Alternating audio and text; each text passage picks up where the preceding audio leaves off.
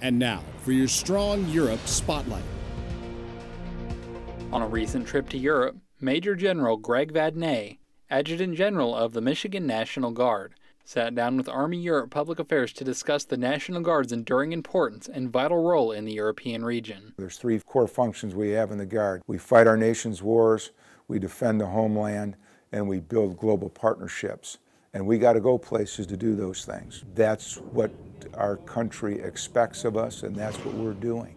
We're not going to passively defend our nation by sitting back and training one weekend a month at home station. Where our Army and our Air Force and our services go, we've got to go and we defend the shores of our nation by being forward deployed. And the alliances that we have formed, we have got to support. That is not a passive exercise. For more information, visit eur.army.mil.